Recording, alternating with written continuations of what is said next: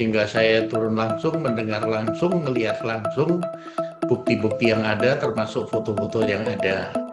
Jadi kasus ini kan memang berawal dari terjadinya pelecehan seksual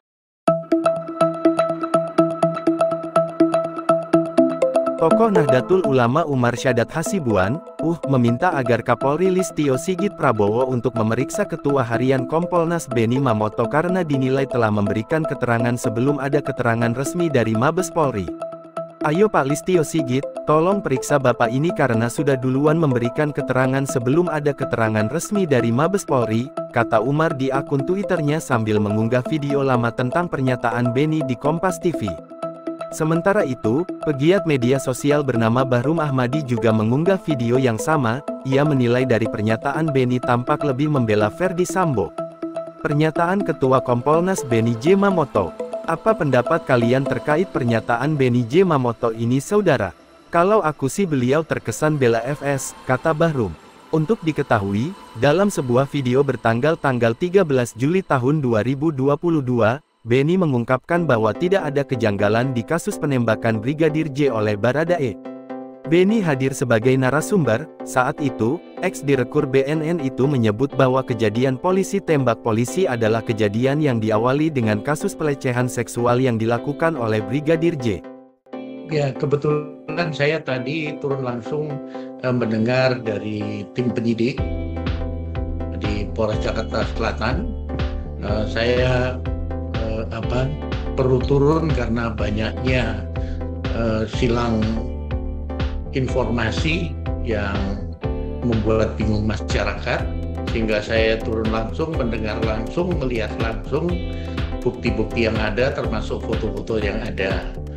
Jadi kasus ini kan memang berawal dari terjadinya pelecehan seksual yang dilakukan oleh Brigadir dia masuk ke kamar, kemudian istri Kadif Propam Tri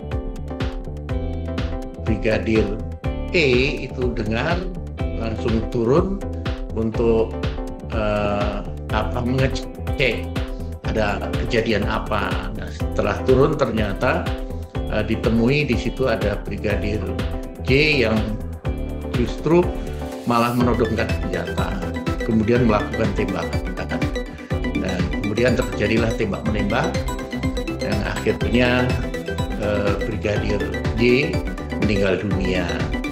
Mungkin orang sering bertanya ini dalam kasus ini, kenapa tujuh tembakan Brigadir J nggak ada yang kena, sementara lima tembakan Brigadir E itu kena semua.